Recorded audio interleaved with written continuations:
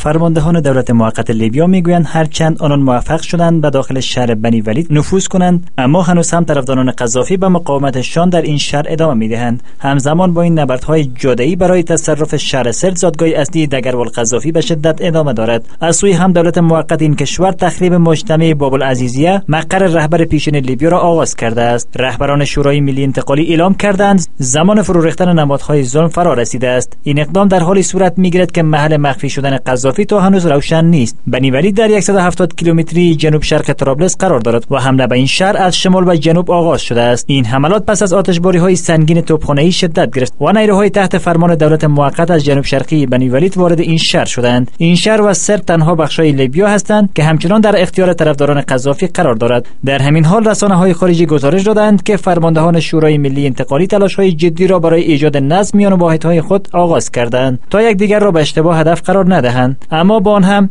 گفته می شود غارت اموال مردم در این شهر به شدت جریان دارد و دولت موقت نیز برای اعمال حاکمیت در بخشهای از این کشور دچار مشکل شده است.